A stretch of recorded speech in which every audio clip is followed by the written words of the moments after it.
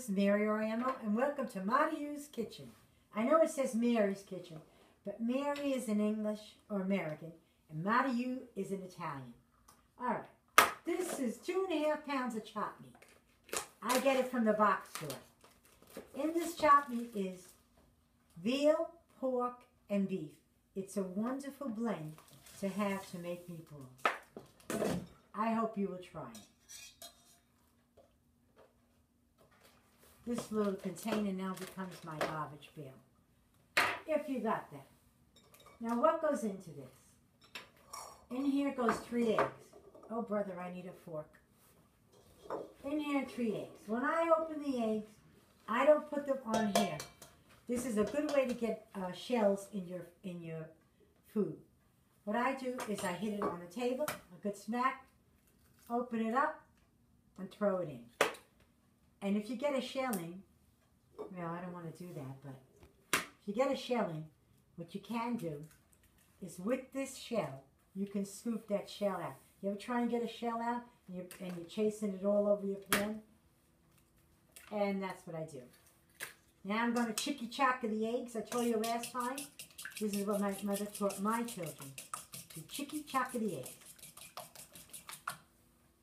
I know you don't need my instruction for that. All right, we're chicky chock the egg. Now here comes the ingredients. Now I'm going to start you off with the cheese. I already measured this cheese. This cheese is almost a full cup. It's more than three quarters. Don't you love this sound on the video? I'm now a drummer. This is the uh, breadcrumbs.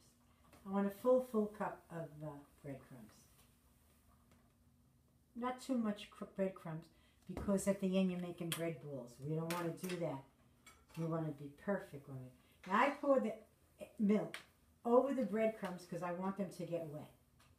Somewhat wet. This is the parsley. Now today I use them fresh. Very often I use uh, dry. When you do dry, do, you know, put two tablespoons, maybe three tablespoons. But you can see the amount in here. It's about two, three tablespoons of fresh. This is much stronger. I know they teach you that the dry one is stronger, use less. It might apply to most things, but I don't think it applies to parsley. Parsley is just a great flavor in here. Now here we got the onions. I'm not supposed to show you the, the company on here, but I'm sure you can guess which one it is. Almost a tablespoon. That's a tablespoon. Then I got the garlic. I don't use fresh garlic. If you use fresh garlic, remember to chop it up very, very well. I use dry garlic. One tablespoon.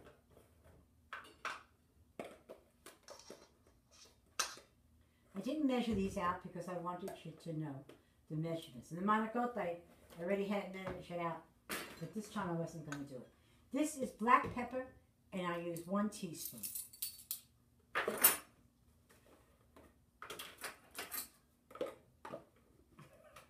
I know I make a lot of noise. I use a level teaspoon. Remember the rule is this, you could always use more. Now here comes the ingredient that I want to tell you about.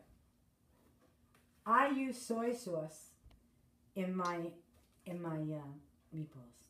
You could use it from the bottle. I get these from the Chinese restaurant. These are one tablespoon each. So it's two tablespoons of soy sauce. All right. So don't faint over the um, two tablespoons of soy sauce. Soy sauce is actually less salty than regular sauce. If I put two tablespoons salt in here, you might be able to. So I mix it all together. You don't need to see it. You mix it good. You turn it, you turn it, you mix it good. And then I use uh, an ice cream scoop. I spray it just one time. You don't spray it for every meatball. And then you start to make the meatball. I like all the meatballs to be uniform because I put mine in the broiler. I don't fry them. Lord knows there's enough fat on this thing. We don't need that because we have the pork in there. I'll show you just the first five and we'll stop the camera. You don't need to see me make 24 meatballs. Did I say this makes 24? One, two, three,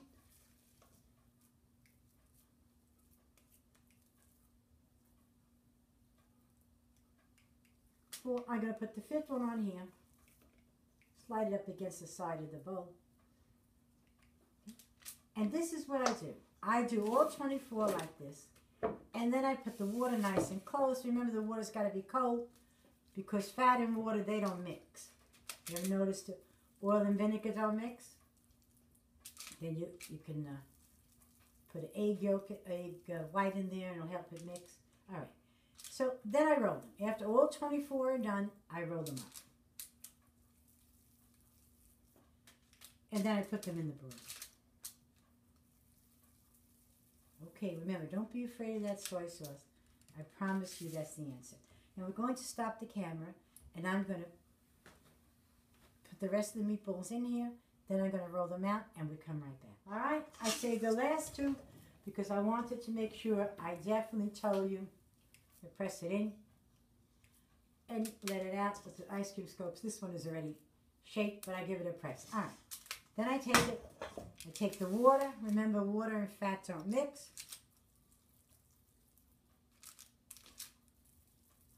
All right, and here they are. 4, 8, 12, 16, 20, 24. They came out to 24. Now this goes in the broiler.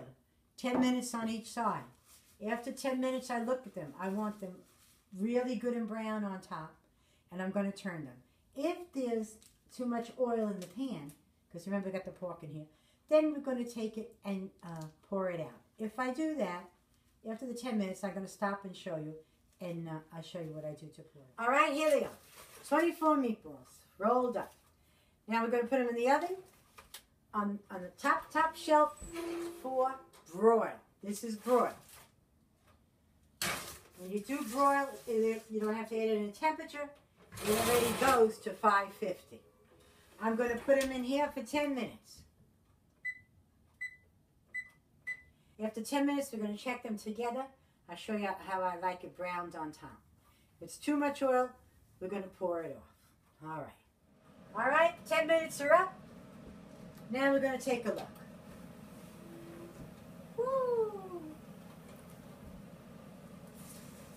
See that? I want it just a little bit. Eh, really good there, as a matter of fact.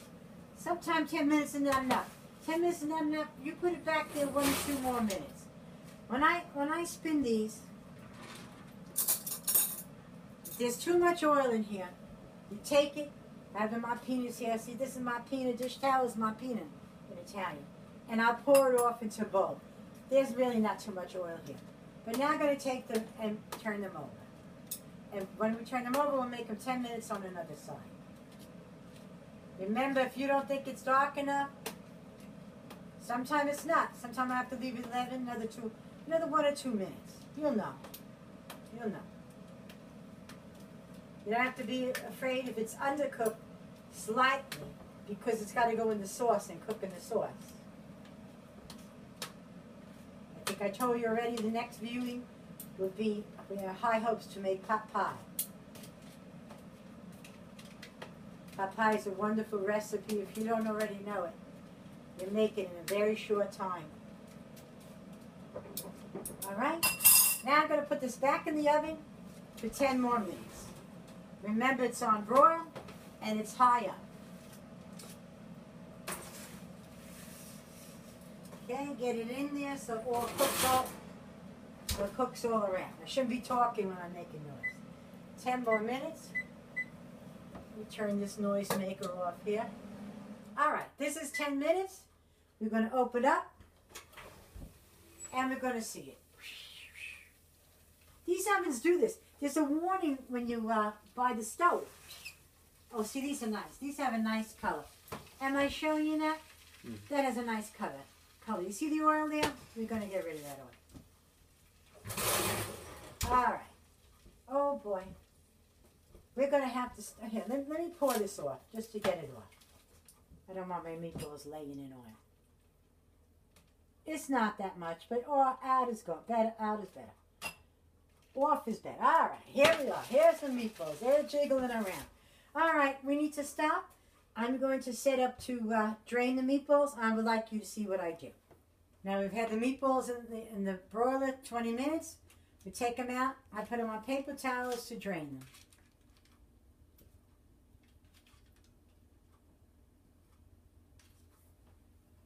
A little slow to go here. When I was 25, I was quick, young, good looking, and fast. Those days are gone. It's today. Say I'm 73, a big woman, and I don't know where my looks went. But if I want to find them, I have to look at an old photograph. All right. These meatballs, I drain them once here, and then I'm going to drain them again. You see there's more paper towel? I'll drain them again. I want to do it two times.